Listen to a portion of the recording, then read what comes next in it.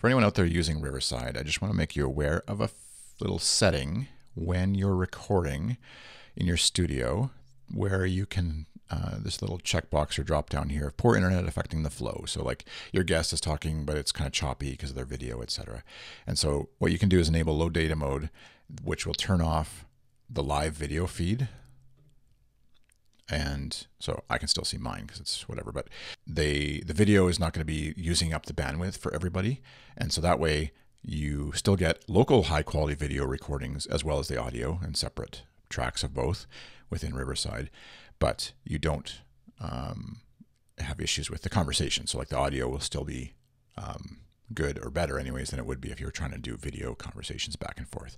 So you may, as the host, have really high internet bandwidth, no problem.